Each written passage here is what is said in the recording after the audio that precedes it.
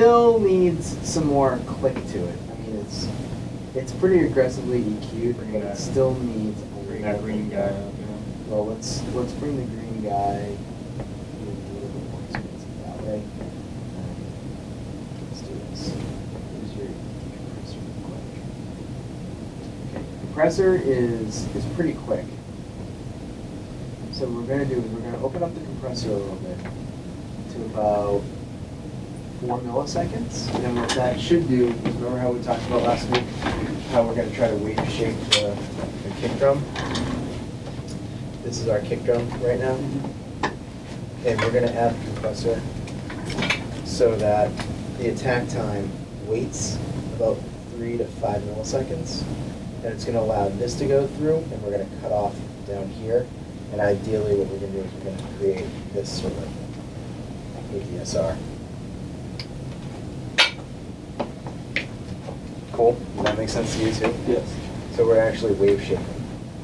And what we're gonna do is we're gonna create a clickier kick drum. Making it a little more punchy. No, a little more clicky. Less punchy. more clicky. Okay, so at a four to one ratio, we're gonna make the threshold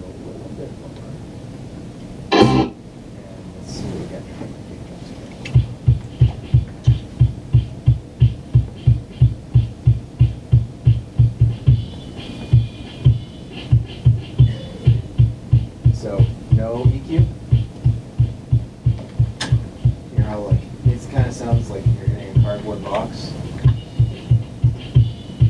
That adds a little bit more click to it, because basically you're, you're wave shaping. And you can make it even more aggressive by dropping the compression, or dropping the threshold.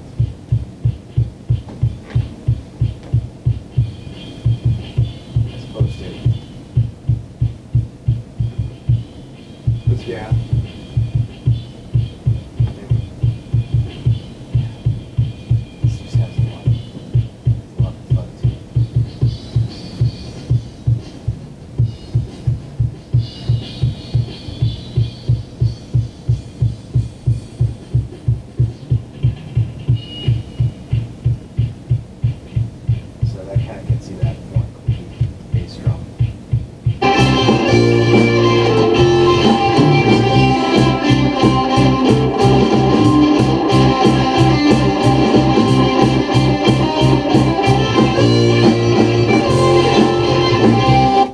Now when you're mixing, you can really start with, you know, soloing these guys and bringing that kick drum up so it supports everything.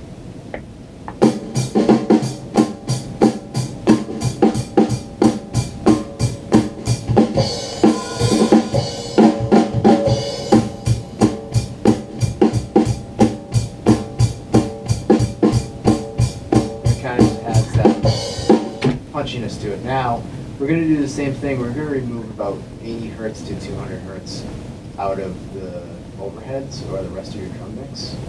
So let's do this. Uh,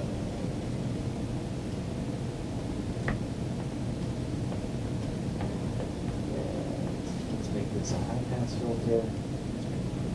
Aggressive, we're just gonna take everything up like we'll say hundred hertz, right? And we'll copy that to both. So what we're trying to do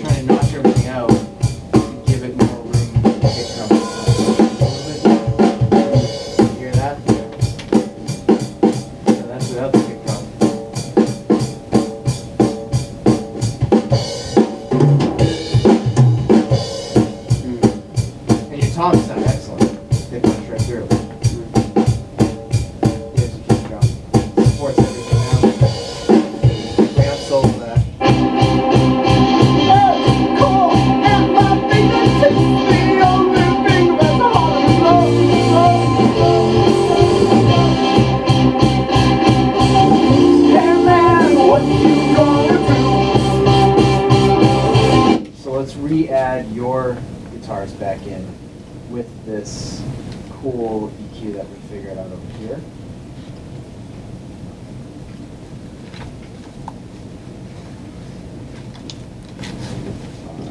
Six. Okay, so we're going to get rid of the mud. Basically.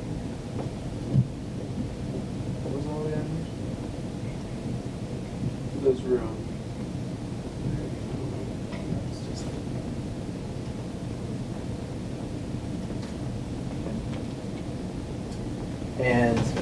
Only gonna bring them up now, so they're five and six, right? We're only gonna bring them up to support everything else. Time seems to be moving fast. I always thought this would last. I thought I would never leave this life of being free. But I'm moving on. Away from this desolate town. Life is short, living hard,